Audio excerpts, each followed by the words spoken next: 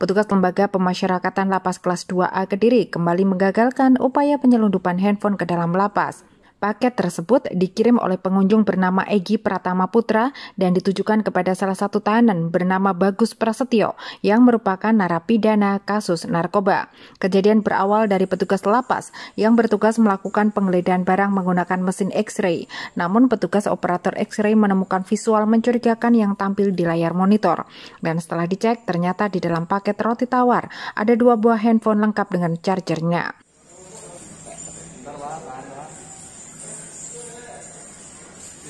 Barang ini akan diberikan pada narapidana yang bernama Bagus Prasetyo. Kasus apa? Kasus narkoba. Kalau hubungan dengan pengirim tadi apa Pak? Saudara. Saudara. Saudara. Katanya bilang ke saudara. Soalnya begitu nitip dia langsung meninggalkan. Hmm. Si Bagus ini difonis berapa tahun? 8 tahun. Sudah berjalan berapa tahun? Satu tahun setengah.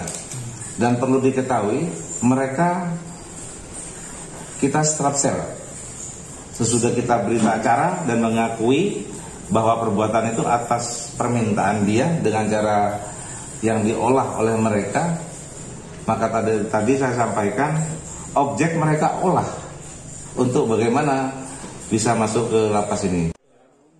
Kini narapidana penerima paket bernama Bagus Prasetyo dimasukkan ke dalam sel khusus untuk proses penyelidikan. Sedangkan pengunjung bernama Egi Pratama Putra juga dicekal oleh pihak lapas dan tidak diperbolehkan menjenguk tahanan lainnya. Dari Kediri, Tim Liputan melaporkan.